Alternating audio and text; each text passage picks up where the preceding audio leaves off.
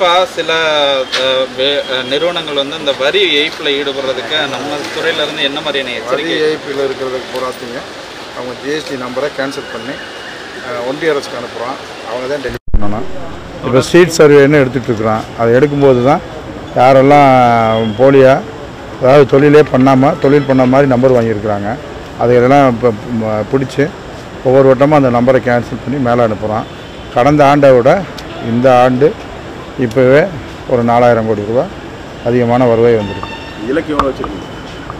இலக்கு வணிக வரிக்கு துறைக்கு மட்டும் ஒரு லட்சத்தி நாற்பத்தி ரெண்டாயிரம் கோடி பதிவுத்துறைக்கு இருபத்தி மூணாயிரம் கோடி போயிட்டுருக்கு.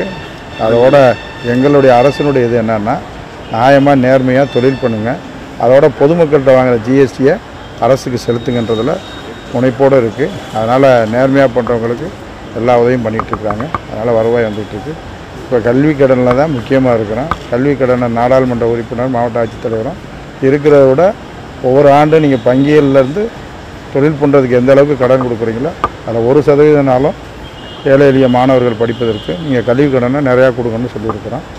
ஆமாம் மீதியெல்லாம் ஒன்பதாம் தேதி இருக்காங்க. ஏற்கனவே நீங்களும் நிறைய சொல்லியிருந்தீங்க. அந்த இது எப்படின்னா தொடர்ச்சியாக சொல்லிகிட்டே இருக்காங்க. வெகு விரைவில் எதிர்பாருங்க. நான் வந்து ஏற்பாடுகள் எப்படி இருக்கேன் ஏற்பாடுகள் எப்படி எல்லாம் பிரமாதமாக இருக்கும்